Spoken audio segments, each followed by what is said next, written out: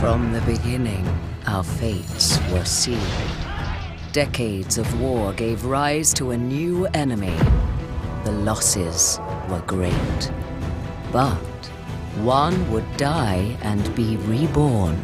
A hero with no fate, but many destinies. Everything you see here is dedicated to one thing the well of souls, the pursuit of immortality.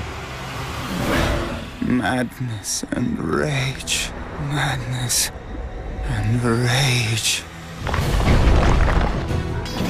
I may not be able to save the well, but I can ensure that its only success is safe.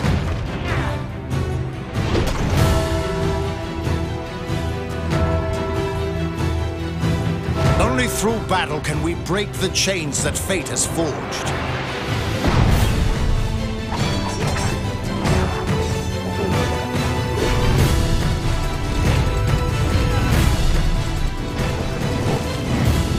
This ends here!